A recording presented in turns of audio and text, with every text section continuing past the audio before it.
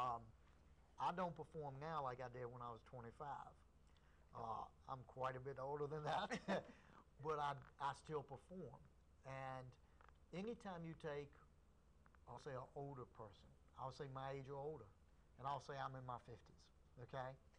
When you're out there working and doing your technique, even if it's not hard and strong, you're doing movement, you're, any type of exercise is good for the body.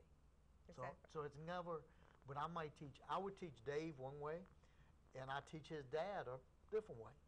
And I teach Dave some things that I don't teach his dad because a man and certain things he can do because of his age Exactly. that some people can't do. Did Okay? you, did you, did your dad start out taking lessons with you when you started, or was he already into it, or? Um, he had done it many many years before I was born, and uh, he started a year after I did. He said if he said if I can do it, he can do it too. That's So uh, so he got into it after about a year I did. His dad has been very dedicated. I would definitely say very dedicated, and he gives you 100% every day. And it's very good to see adults do that. It's very good to see kids. We have some good kids that do that also. Now, you, you mentioned, I think you did, one of you did, about the karate belts. Somebody's a black belt, somebody's a brown belt. Sure. What's the progression in, in Okay. Every school is, most schools are very similar, but some schools are a little bit different. Um, and it's not that one school is right, one school is wrong, but most of your Okinawan karate schools and your Japanese, and most schools in general, have the 12 belts that you do. If you're in a good school, um, well, I'll tell you two things. If you're in a good school, a good traditional school, or, or a good American school that does good karate, it should your your first five s- should be somewhere between two and three months between each belt. Uh, in my school, it takes three months minimum. Uh, then when you get intermediate, usually it takes a little longer, and then brown belt it usually takes a little longer. But a good school, and a half years, it's going to take you three and a half good years to get a black belt. Uh, I tell parents all the time, if you go to school and they say you're going to get a black belt in 16 months, um, check out some other schools. Simply for this reason. Karate is just like school. If my child, who is now grown, but if my child goes to preschool and then goes to primary school, then they have elementary school, then they have middle school, then they have high school, Right. then they're in college.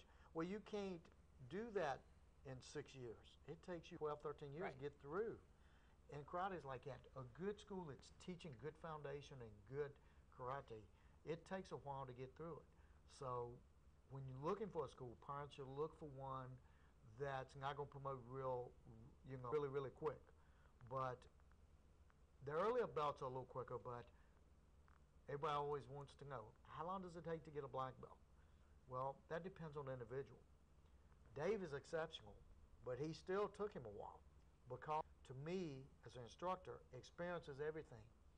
So I'm going. I don't run them through the belts just to get them a belt and say I've got a black belt.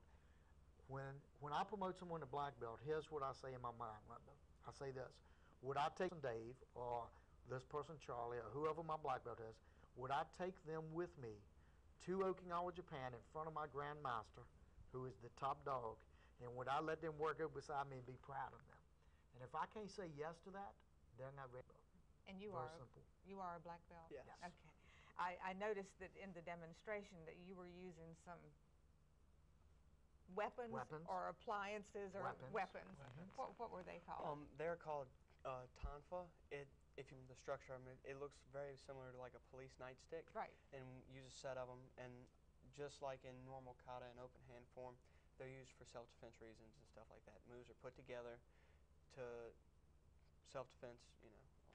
Do you, kind of equipment do you use when you're training for a competition? Um, when I'm training for a competition, I, ha- I have bags, like heavy bags. Uh, I have other people to help me train. Um, I run a lot.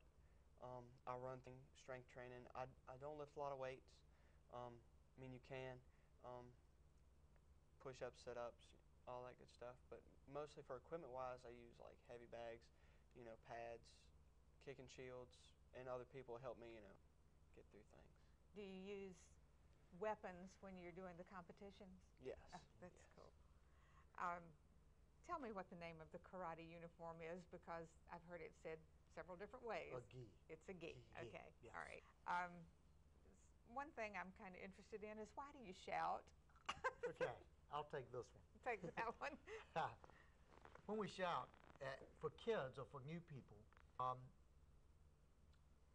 we explain a couple things real easy, but it's it's a number of different reasons we shout. Number one is um, we've all heard the story about the man that comes down the road and it's a car laying there and somebody's trapped on. He grabs the car and gets his adrenaline pumped up because he wants to save the person. He can lift the car up when I ki, it's called a ki, and I extend all of my air and tighten my muscles, first thing it does, it pumps a lot of adrenaline into your body. If Dave is a mean person and he's attacking me, when I strike or hit him, I don't want to hit him easy. I want to totally destroy him. So when I do that with my adrenaline is so so much, it gives me more power, number one. Number two, when I, it makes him stop for a second and just flinch. Split second of the eye, that's when I attack, and that gives me an edge. That's a quick, simple reason. That's, that's cool. Um, How many lessons do your students have a, a week approximately, or do you? It depends. We have different levels at our school, but I, I'll tell you real quick. Our basic students has been there about a year. They usually train two days a week. They have the choice of coming three days. Um, now, like Dave's, Dave was there every day. When the dojo, when the when the the dojo means school, that's the Japanese word, just means school. Right. When the door was open, he was there. You know, I pull up, he's there waiting. You have some students there every day, but the majority of students train two to three days a week. That's what they train. If you get on a two to three day weekly schedule, um, you can get into some pretty good physical fitness.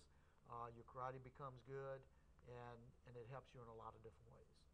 I think, that- I mean, I, I just think it's fascinating, Yes. you know, what you do. And it must be extremely rewarding for you. It is. Let me go back one thing. Okay, about training. And Dave went to World Championship and he, he got a gold medal. He won in the World Championships. And for that, he was training three to four hours a day, probably five days a week, sometimes six and seven days a week. So he trained a whole lot more. Now, I'll, I'll answer a rewarding question. okay, yeah. Um, I've had lots of honors and different things, but I won't get into them because to me that don't. it doesn't mean it, it means something. But what means a lot to me is when one of my students makes a championship, or the same thing. If one of my students goes to a competition, does his very best, and just he might win one match, and that's all he wins. But he give it his best. And six months ago, he wouldn't even come out on the floor and look you in the eyes. That's so when you see the students develop into something positive, that's I think that's wonderful, and I know that it, it is a, a team building thing. There's so many Yes. rewards in, in doing this karate. We have a little less than a minute, okay. but I wanted to thank you both for coming on the show, for Thank giving that wonderful demonstration. You. And David, may you have the best of luck in your future with this. And Jay, you just keep on doing what you're doing, and I'll we'll probably do it to the day I die. you probably will. I hope you all have enjoyed tonight's show. If you have any comments, please send them to our email at lynchburglivenow at AOL.com. Stay tuned in. We have a lot of good stuff coming up in the future. Thank you so much. Have an excellent evening. Good night.